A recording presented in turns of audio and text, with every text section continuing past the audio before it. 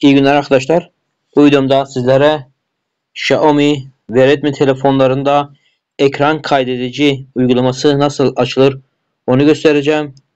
Arkadaşlar gördüğünüz gibi panel kısmında ekran kaydedici yok ve bunu buraya ekleyemiyoruz. Peki bunu nasıl açabiliriz?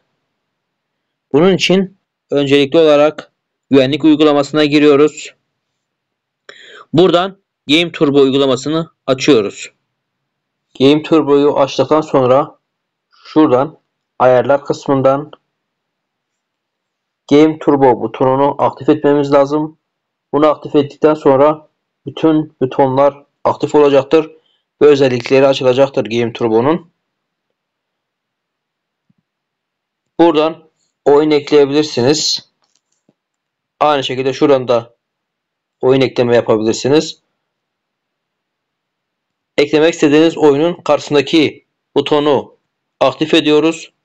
Aktif ettikten sonra sol tarafta oyunlar ve uygulamalar burada gözükecektir. Buradan oynamaya başla dedikten sonra uygulamayı açtıktan sonra arkadaşlar gördüğünüz gibi sol üst köşede Game Turbo seçenekleri var.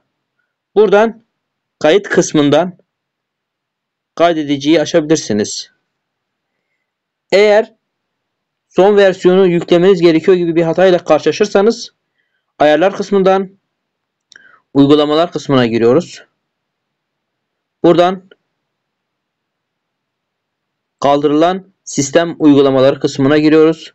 Eğer burada ekran kaydedici varsa karşısında karşısındaki yükle butonuna basıp ekran kaydediciyi geri yüklüyoruz. Bu şekilde ekran kaydediciyi aktif edip kullanabilirsiniz.